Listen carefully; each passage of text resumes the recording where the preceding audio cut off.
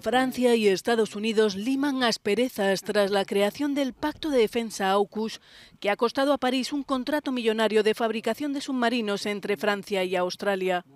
Una llamada telefónica entre ambos presidentes fue necesaria para reconducir las relaciones. El embajador de Francia regresará a Washington tras la conversación entre Biden y Macron.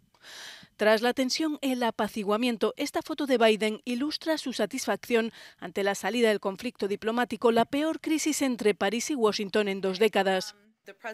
El presidente Biden reconoció durante esa llamada que podría haber habido más diálogo al respecto antes del anuncio, declaró Jen Psaki, secretaria de prensa de la Casa Blanca. Pero no todo el mundo ha encajado igual la indignación francesa por la alianza trilateral entre Estados Unidos, Australia y Reino Unido.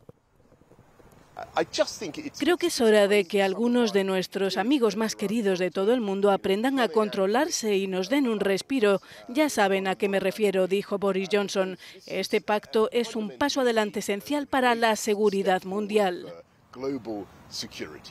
La alianza AUKUS implica compartir la tecnología nuclear de submarinos con Australia para contrarrestar el avance chino en el Indo-Pacífico, pero Francia lo consideró como una traición al quedarse al margen de este pacto estratégico.